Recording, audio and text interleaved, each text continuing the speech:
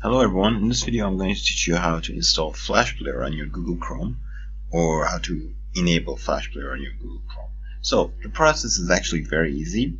First thing you want to do is you want to go to these three little dots here, you want to click on them and then you want to go on settings, right? So after we go on setting you see these little options you've got here. You see privacy and security. You click on privacy and security and you click on site settings from here. After you see this, you go down a little bit, a little bit, a little bit. As you see, you've got flash option here. So you want to click on that.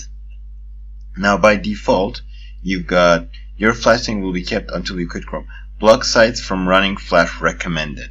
As you can see, it's toggled off. So you want to toggle that on. And that's it. Your flash is enabled. Now, if you want to test that, you Google test flash player. Plenty of options. Let's just go to this one.